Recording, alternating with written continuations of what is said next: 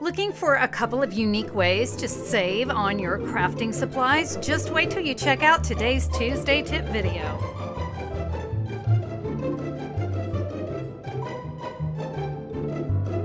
Hello and welcome, everybody. I'm Connie Stewart with SimplySimpleStamping.com. I'm so glad you're here to join me for another Tuesday tip because today's tip is about saving you money.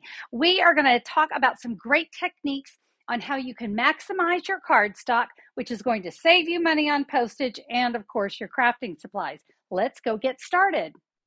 Before we get into the nitty gritty of today's card, there is a free download that goes along with my video. So, in this, you'll have um, the photos, the measurements, my complete supply list. If you need to come back and watch today's video, you can just click the QR code. And of course, I'll have the complete supply list here. You can go right, uh, click that. You'll go right to my website where you can order any of the supplies. Friends, I'd love to be your Stampin' Up! demonstrator. But with that, we are ready to create our first card. This this really pretty lemon lolly card. Um, I'm going to be using some dies. Look at what we have going on on the inside. And get this, you guys. This is all we're going to use to create this card. Isn't that fantastic? I have got a very vanilla thick card base. This is a five and a half by eight and a half scored at four and a quarter. I then have a piece of lemon lolly, four by five and a quarter, and then just a little piece of scrap of very vanilla or very vanilla thick, whichever you've got. And that's to create our little flowers. My piece is about two and a quarter by three, but any scrap will do.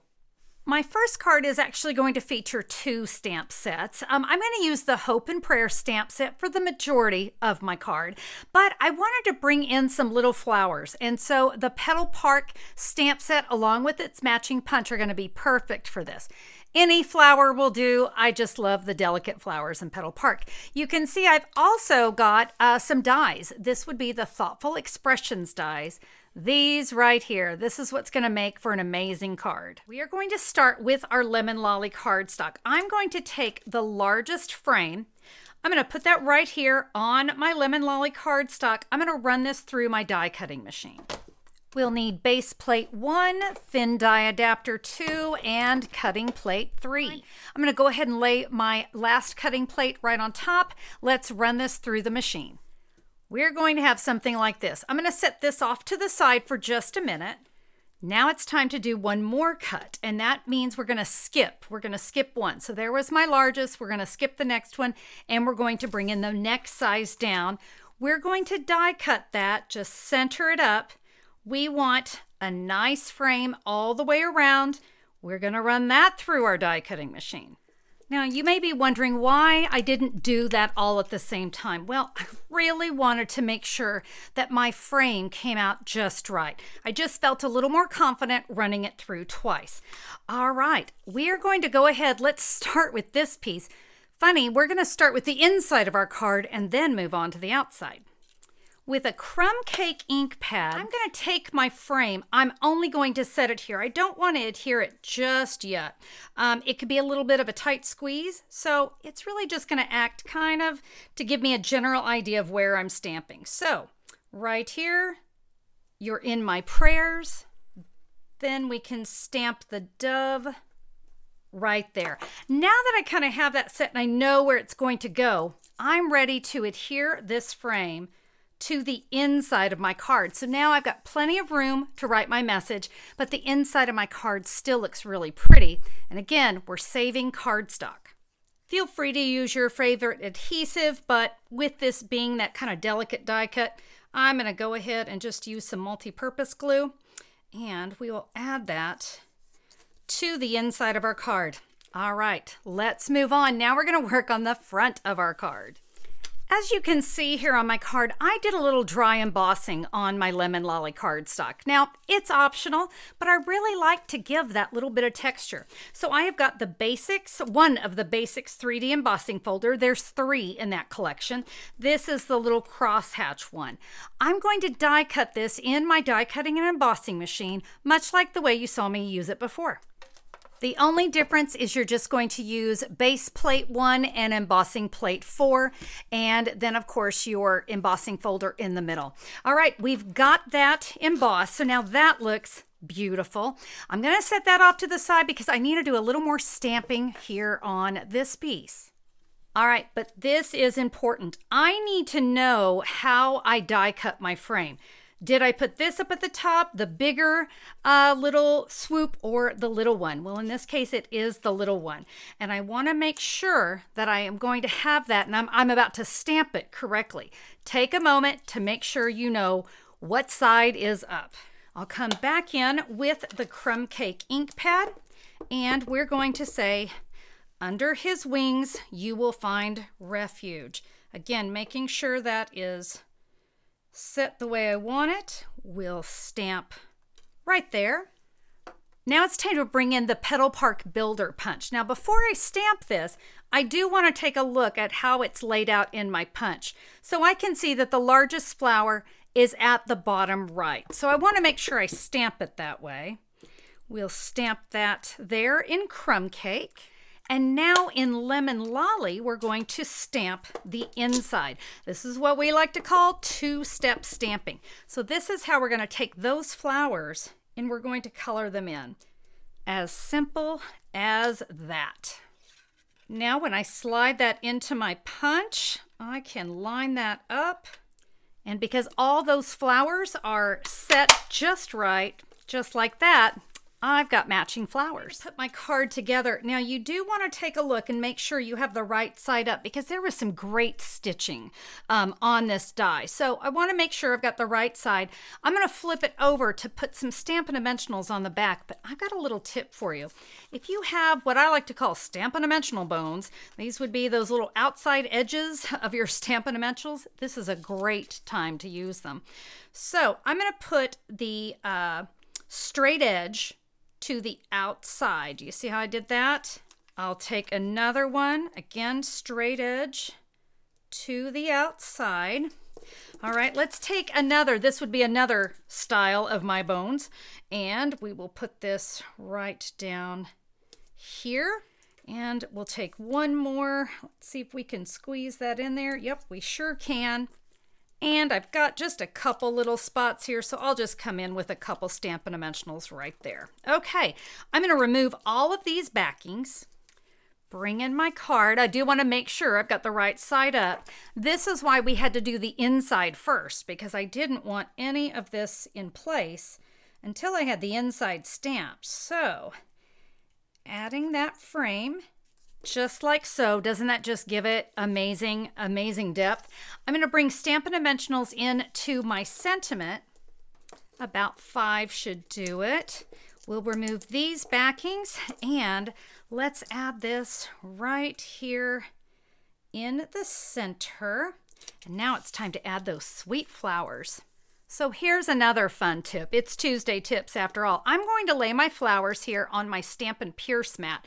I'm going to take a pen. The pen is not out, but I can use that pen. And do you see how if you just press to the inside of the flowers, how they just pop? It's a quick way to get some instant dimension. I will add a dot of glue here to the center of the largest flower, and I'm going to add the smallest one there to the center.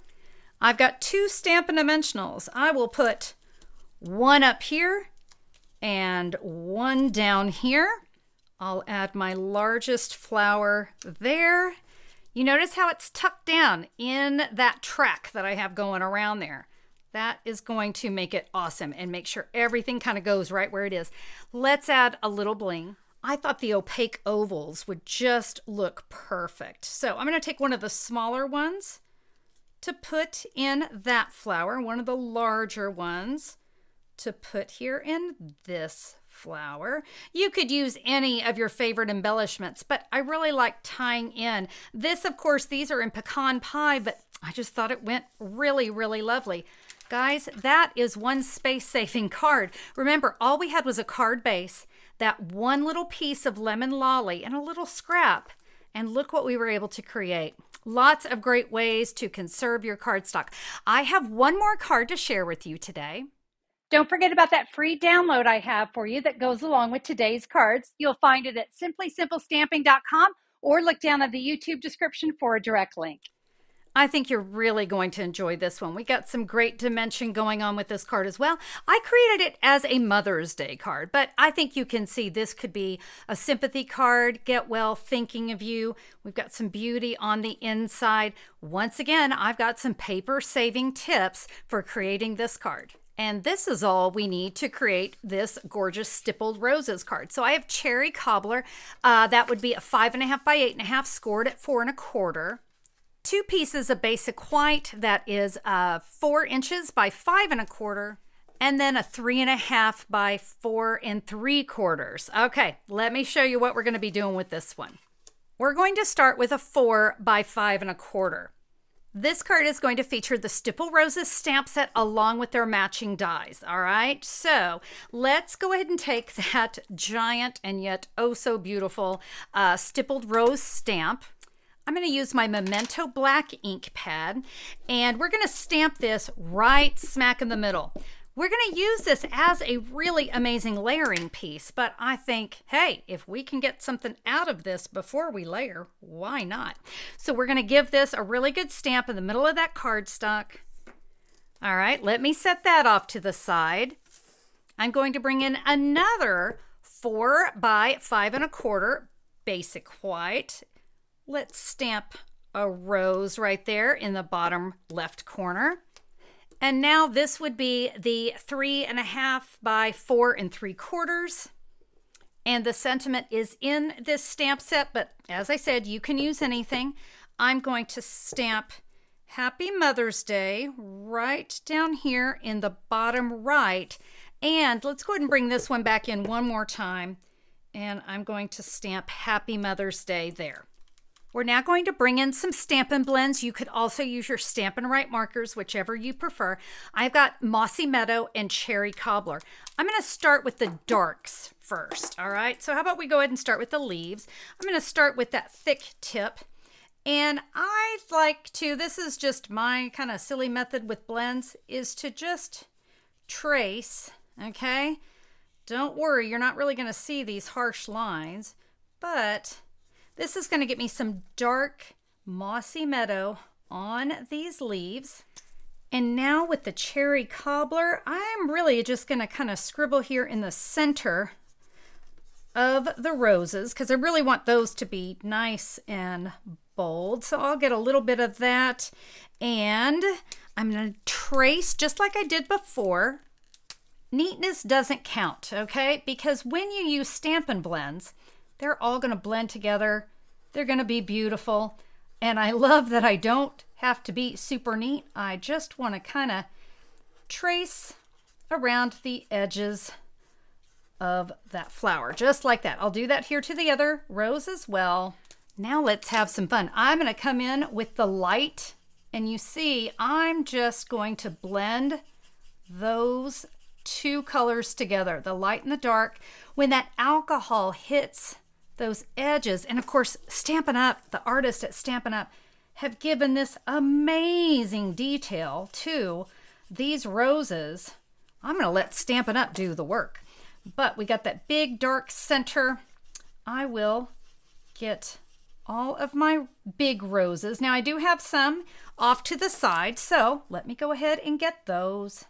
Now we'll come in with the light mossy meadow and we'll bring some life to these leaves. Again, we've got the light and the dark coming together. All right, I'm going to set that off to the side. We're going to just repeat that same process here with the rose that's on the inside of the card. All right, this is for the inside of my card. This is where I'll write my message. Now, for the front of our card, we're going to take this piece and we're going to bring in the matching dies and let's die cut that great big and amazing flower, but save this piece. We're going to use it as a layer. And we have something like this. Now this is the back layer of my card. So we're going to bring in that embossing folder again. The same one we used on the first card. Place that in your uh, embossing folder. We're going to run that through. Don't worry, we're going to hide all of that. But Instead of just using this as a layer, we got smart and we used the middle of that. I decided to do just a little bit more stamping on this piece, so forgive me for not sharing this with you there at the beginning. I'm going to take these leaves and I just want to kind of bring them up and over my Happy Mother's Day. And you see we've colored those in with the blends as well. We're going to come back in with another sheet of those Stampin' Dimensional bones. Remember what we did? We always add the straight edge to the outside. So if anyone gets a peek, they will not see our little uh, money-saving tip that we had going on here. I mean, let's face it, we can't give away all our secrets. All right, let's remove our backings. I'll add that and just like that, no one will ever see what we had going on inside there. I'm now going to come in with Stampin' Dimensionals and add all over those beautiful and that giant set of roses. Make sure you get a few here in the middle. We don't want um, our image to sag. No saggy middles. That's what we say around here. All right, when you go to add this, you really can decide which direction you want it to go. But get this, it is going to hang off just a tad onto the cherry cobbler a little bit. I love how it spills over. And let's add a little bling because mom needs some bling. One of the classic go-to, that is the jewel rhinestones. And I'm telling you, you add these to that image and those roses, and it just absolutely sparkles and shines. And there we go. Let me bring my first card back in. And friends, I'm telling you, there are some easy ways that you can conserve your cardstock. Think about your dies a little bit different think about those layering pieces. And I hope in the uh, video that you can really see that embossed cardstock in the background really sets this card and just makes it look amazing. But no one will ever know that we die cut those incredible roses from that back layering piece. And of course, we've got um, a matching rose on the inside. Remember this one? We were able to use this frame rather than toss it. Let's use it and make the inside of our card incredible. Friends, I hope that this video inspired you to save and conserve some cardstock. If you enjoyed today's video, help me out by giving me a thumbs up, subscribing to my channel, and sharing with your friends. I always appreciate that. Thank you again for being here. I can't wait to stamp with you guys next time. Bye bye.